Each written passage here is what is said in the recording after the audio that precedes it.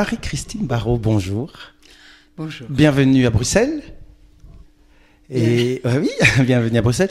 Euh, on va énoncer un mot et puis vous allez nous dire pourquoi vous êtes là, mais surtout vous avez quitté Rome. Vous venez de Rome Je viens de Rome parce que je suis en train de tourner un film à Rome. Voilà. Quel, on peut en parler sur ce film ben, euh, Ou pas trop C'est toujours difficile de parler d'un film qui est en train de se qui faire. est en train de se faire. Euh, si je vous dis le nom du metteur en scène, vous ne le connaissez pas parce que c'est sa première fiction. Ah, Jusqu'ici, génial. il a fait des documentaires. Oui, oui. Euh, le scénario est très beau. Euh, je sais pas quoi dire. Oui. Ou bien je vous raconte toute l'histoire et on, est là pour un moment. Racontez-moi plutôt euh, les émotions que vous avez encore et toujours ou à chaque fois lorsque vous avez un scénario en main, lorsque vous atterrissez sur un tournage, que vous rencontrez l'équipe. Et est-ce que vous avez toujours cette cette niaque, cette énergie, ce, ce contentement, cette joie Voilà, de, de- de plus en plus. De Elle, plus en elle plus. ne diminue pas, elle augmente. Mais euh, j'ai aussi le trac. Oui, ah le trac, J'ai aussi parlons-en. le trac. Oui, J'ai oui. toujours peur. Je me dis, voilà, le metteur en scène va me voir pour la première fois. Là, il me connaissait pas physiquement. Il Oui, m'avait jamais oui, vu. oui. Il va se dire, oh non, c'est pas possible, je peux pas travailler avec elle. Non, non. Puis après, la première scène, oh non, elle joue trop mal, c'est pas possible. J'ai toujours l'impression que Ah oui. c'est mes débuts, que je je n'ai jamais rien fait avant. Alors quand on commence à me parler effectivement de ce que j'ai fait avant, je fais ah bah oui quand même peut-être ça Oui. doit leur donner peut-être un peu confiance, mais mais quand même, mais quand même il faut tout il faut tout reprendre à zéro à chaque fois. Euh, à zéro, tout en ayant l'expérience évidemment qui est en nous, mais il faut faut partir à chaque fois avec cette idée que que c'est la première fois. Oui, et à chaque fois un, un nouveau défi en sorte. Ouais. Ouais. Mais c'est très excitant, c'est ça qui est excitant. Alors, euh, on vous a invité ici, c'est Rencontre des auteurs francophones hein, en, en association avec Tancred, hein, Magali Villain, euh, qui vous invite ici pour cette rencontre pour parler de Marguerite Yourcenar. Une grande histoire? Marguerite Bah, Yourcenar. Marguerite Yourcenar, c'est quand même un des plus grands auteurs du siècle. ouais, ouais, tout à fait. Elle n'appartient à personne. Elle est à la fois euh, un, peu belge, un peu française, Oui. un peu américaine, mais elle est, d'ailleurs, dans les lettres que je vais lire tout à l'heure, elle explique qu'elle se sent plutôt citoyenne du monde, Mhm. quoi. Qu'on devrait tous se sentir citoyens du monde, euh, avant même d'être d'un pays. Mais euh, elle, elle particulièrement. Moi, je l'ai connue, je l'ai découverte un peu sur le tard, parce que bon, euh, Mémoire d'Adrien, euh, L'œuvre noire, ce sont des livres où j'étais encore très très jeune. Donc, je les ai pas lus quand ils, quand ils sont parus, je les ai lus après. Et puis euh, j'ai fait beaucoup de lectures de Marguerite Yourcenar, de ses textes, de des, des nouvelles orient- orientales que j'adore, d'Adrien. J'ai lu Mhm. quatre heures de, des mémoires d'Adrien ici à la à l'Académie royale ici. Euh, C'était un grand moment. Et puis j'ai- joué une pièce qui était adaptée des yeux ouverts, qui est un livre de- de- de- d'entretien qu'elle a eu avec Mathieu Gallet, magnifique. Je dis à tout le monde, c'est une porte, une première porte formidable sur l'œuvre et sur la personnalité de Marguerite Yourcenar, Les yeux ouverts. C'est un livre que tout le monde devrait avoir sur sa table de nuit. Oui, ou sur sa table de salon, encore mieux. oui, mais la table de nuit, c'est Oui. avant de se coucher, tiens, Ouais. qu'est-ce qu'elle pense de l'éducation, qu'est-ce qu'elle Ouais. pense de l'amour, qu'est-ce qu'elle pense de, voilà, des, des- l'amour des animaux, la- la- la- la- l'amour de la nature, euh, l'amour de la nature extraordinaire.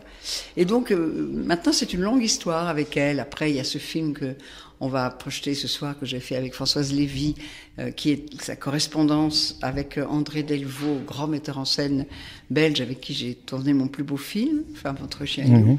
Et euh, j'ai, on a été tourné dans sa maison. Enfin, maintenant j'ai l'impression d'être un peu de la famille de Yourcenar. Famille très modeste. hein. Mais en même temps, j'aime tellement porter ses textes, tellement, tellement. Je viens de faire encore, il y a, il y a trois semaines, à Besançon, une lecture justement des yeux ouverts avec un, un acteur qui en avait fait un autre montage que celui que j'avais joué au théâtre. Parce que, vous savez, son œuvre est tellement immense Ah oui, oui, oui. qu'on peut la prendre par tous les bouts et on n'en aura jamais fini. Mais tous ces thèmes que vous évoquez, on sent que ça vous concerne, ça vous touche. Vous parlez d'amour, d'enseignement. Vous êtes encore impliqué dans ces, dans ces valeurs. Je vous ai entendu tout à l'heure parler de valeurs. C'est important les valeurs. Plus que tout. Bah oui, ce à quoi on croit quand Oui. même, et ce pourquoi on est prêt à se battre, c'est très important. On n'est pas des petites feuilles euh, qui volent au vent. Je crois que et puis surtout en vieillissant, on sait, on sait, euh, on sait ce qui est important. On se fait une hiérarchie quand même de de la vie, des choses qu'on lit. Moi qui lis beaucoup, je sais que de temps en temps, je lis un petit livre qui n'a pas euh, de valeur extraordinaire, ni littéraire, ni euh, euh, ni dans l'histoire. Enfin, des petites histoires comme ça, et je suis quand même contente. Et puis à côté de ça, je lis des chefs-d'œuvre. Et, et on, on, sait tout ça. C'est important, c'est important. Ce à quoi on croit, et puis se se battre. Moi, j'ai la chance de faire un métier dans lequel on peut s'investir vraiment. Je pense toujours qu'il y a énormément de métiers euh, ou simplement c'est 8 heures par jour pour gagner sa vie. Oui, tout à fait. Euh, dans le meilleur des cas, euh, on ne s'ennuie pas trop, mais dans, souvent on doit s'ennuyer. Et quand je vois tous ces gens qui descendent dans la rue pour défendre la, la, la retraite, pour que la retraite ne, ne, vous oblige pas à travailler deux ans de plus, je me dis, c'est triste de penser que pour beaucoup de gens, le métier, c'est seulement pour gagner sa vie et c'est pas un investissement personnel. Sinon, ils se battraient pas. Ils seraient très contents de travailler deux ans de plus. Ouais, Je parle pas des métiers physiques qui demandent évidemment des forces qu'on n'a plus à partir d'un certain âge. Mais euh, moi, j'ai la chance de faire un métier dans lequel ch chaque chose que je touche, c'est un enrichissement. Pour moi et pour, et pour les autres, pour le public avec qui je partage. Vous imaginez On se lève pas de la même manière le non. matin. Et vous parliez justement de cet enrichissement, ce partage, il y a un réel partage, et puis il y a l'écriture. Est-ce que l'écriture euh, est venue chez vous justement pour partager, pour pour dire des choses, pour euh, essayer de, de sensibiliser les gens ou partager vos valeurs? Moi, je suis pas vraiment, je suis pas écrivain. Hein. Mm. Bon, il se trouve qu'il y a trois livres qui sont supposés être euh, une œuvre littéraire. C'est pas une œuvre littéraire, c'est justement l'envie de partager. L'envie de partager. L'envie de partager. Alors, évidemment, les deux premiers c'était strictement euh, autobiographique sur ma vie. Mais ma vie est un roman quand même. Ma vie est tellement riche en, en épisodes, en rencontres, en bon, c'est incroyable. Et le dernier, celui que je, je, je porte en ce moment, c'est sur cette idée de, de, la mort et comment les morts nous aident à vivre mmh. et à dépasser notre propre existence et le, la banalité de notre existence, comment il nous propulse vers quelque chose de plus grand. Ça, c'était important. Ça, c'est une idée que je transporte en moi, que j'ai en moi depuis très longtemps depuis que j'ai rencontré cette phrase magnifique, les, les, vivants ferment les yeux des morts, mais ce sont les morts qui ouvrent les yeux des vivants. Ouais. Cette phrase, elle, elle m'a frappé le jour où je l'ai entendue pour la première fois, et je ne sais plus quand c'était. Elle m'a accompagnée. Et comme dans mon métier actuel, j'ai joué, je joue en ce moment, que ce soit au cinéma ou au théâtre, beaucoup de morts. Je, je, je, je joue beaucoup de personnages, ouais, personnages. qui meurent. Et, et puis j'ai mon âge aussi. Je me suis dit, c'est le moment de parler de ces, de ces rencontres avec la mort qui m'ont fait grandir. Donc voilà. Mais sinon, je ne sais même pas si je réécrirai jamais un livre de plus. Mais je ne suis pas écrivain. Mais je, non, oui. je suis porteuse, porteuse, porteuse. de choses en quoi je crois. C'est très bien. Mais alors, vous portez aussi avec la voix euh, dans vos lectures. Et ici, voilà, vous faites beaucoup de lectures. Votre voix est formidable. Vous transportez les gens. Et que, que voyez-vous dans les yeux des gens, dans le questionnement des gens, quand vous portez euh, la voix de Marguerite Yourcenar? Eh bien, les lectures, c'est quelque chose qui est, qui est, assez particulier parce que normalement, quand vous jouez au théâtre, -hmm. il y a ce qu'on appelle le quatrième mur, c'est-à-dire que vous n'êtes pas supposé être en relation directe, Direct. physiquement avec le public. Vous n'êtes pas supposé regarder le public. Ouais. Quand vous tournez au cinéma, encore pire, vous n'êtes pas supposé regarder la caméra, jamais, sauf des cas exceptionnels où on veut vraiment montrer quelque chose. Et là, les lectures, c'est le contraire. C'est complètement en face. On est en face, on est. Euh, c'est, euh, il, y avait, il y avait une expression très jolie de tout un cycle de lecture à Avignon qui s'appelait texte nu. C'est pas seulement le texte qui est nu, c'est nous qui sommes nus aussi. Nous sommes nus pour porter le texte. Nous n'avons pas de mise en scène, rien. Au mieux, un bon micro. On espère toujours. C'est pas toujours le cas, on espère. Et euh, c'est tout.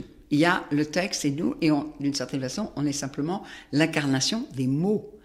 Et donc, on est là en tant que personne. Quand je fais une lecture, je suis là en tant que Marie-Christine Barrault, qui lit, qui ne, qui ne s'interpose pas entre le texte et le public, mais qui lit en tant que personne. Je suis Marie-Christine Barrault, qui lit Yourcenar, qui lit euh, Saint-Exupéry, qui lit Camus, qui lit la poésie. Et et on est en face du public et on le, et d'ailleurs c'est une des choses que je fais les gens me le disent quand, par exemple une phrase est forte et belle et tout, j'ai toujours à la fin de la phrase le, le réflexe de regarder le public dans le genre c'est beau, hein, c'est beau, n'est-ce pas? C'est beau. Et ils le sentent. Ils le sentent que je viens de lire cette phrase pour eux. Pour eux. Pas pour moi, pour eux. Mais elle vous a fait plaisir en même temps. Et on se fait plaisir Voilà, ensemble. exactement. Et on, on partage quelque chose ensemble. Et ça, c'est ineffable. Comme sentiment, c'est ineffable. Tout- je sais pas, il y a peut-être des gens qui se disent, mais pourquoi elle fait toutes ces lectures? Mais ils se rendent pas compte Ah de cette plénitude que je ressens quand je suis simplement en face, mais, même euh, cinq personnes, dix personnes qui écoutent ce Oui, oui, texte oui, et qui peut-être vont le découvrir et vont dire, ah, ah, on va acheter le livre parce que vraiment, ça nous donne envie de lire tout, tout le livre ou toute l'œuvre de quelqu'un. Et vous aimez lire devant Comme une élève qui a envie de lever le bras, moi je veux lire Oui, devant c'est comme toute la ça que classe. à l'école. Exactement. Et c'est comme ça que ça a commencé. Voilà. À l'école, quand on nous disait, parce qu'à l'époque, on faisait, on n'avait pas peur, on nous disait d'apprendre des textes par cœur. Aujourd'hui, mon Dieu, quand ils ont cinq lignes, c'est l'affolement dans la famille. Mais à l'époque, on nous faisait apprendre des tirades entières. Et moi, j'en apprenais encore plus parce que c'était ma joie. Et quand, euh, quand, quand il fallait les réciter, les autres, ils disaient, Voilà, moi, je veux, moi, je veux, je veux. Et un truc très drôle, c'est que dans l'école où j'étais, qui était une école privée, Jusqu'à la classe de troisième, donc jusqu'à 14-15 ans, on avait encore des cours de couture. Et alors, pour tenir les élèves tranquilles, à pas discuter pendant les cours de couture, on demandait à une élève de lire, comme dans les couvents, vous Ouais. savez, pendant le repas. Et moi, comme je lisais, à la fois je lisais bien, et puis surtout j'adorais ça, c'était toujours moi qui lisais. Résultat, je ne sais pas coudre un bouton, ni faire une boutonnière, ni un ourlet. Mais je lisais, je lisais. On lisait des livres enfin des romans. Et je, déjà, j'avais ce côté euh, que je voulais intéresser mes camarades pour qu'elles écoutent.